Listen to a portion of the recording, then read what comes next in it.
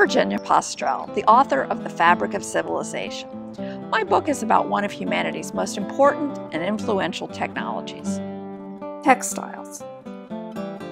The word textiles comes from the Indo European root tex, which means to weave. It's the same root that gives us the word technology. Textiles are such an old technology that we rarely think about them. They hide in plain sight. From the moment we are born, we are surrounded by cloth. We sleep among textiles, walk on them, wash, and dry with them. Textiles protect us from the elements. They carry our stuff.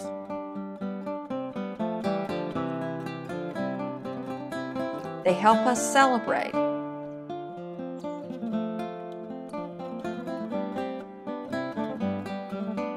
Textiles are everywhere.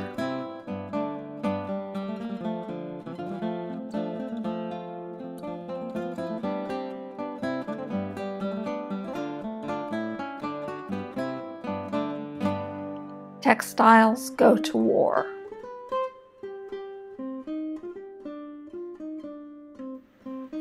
They keep us safe.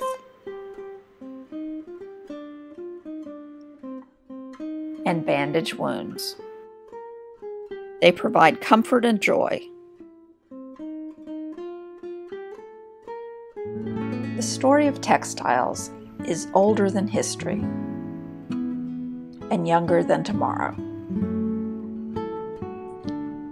It stretches back to cave dwellers twisting plant fibers into string, and forward to scientists embedding threads with computer chips.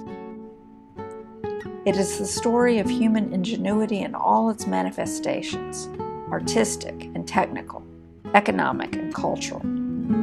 The pursuit of cloth gave us germ theory. It led to the belt drive and the chemical industry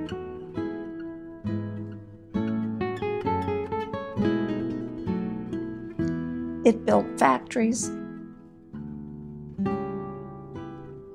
and finance. Textile traders spread the alphabet and Arabic numbers, literacy, and bookkeeping.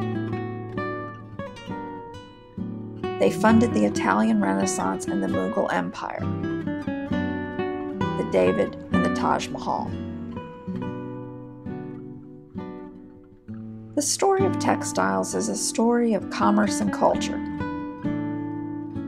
a story of peaceful trade and savage wars. The story of textiles is a human story.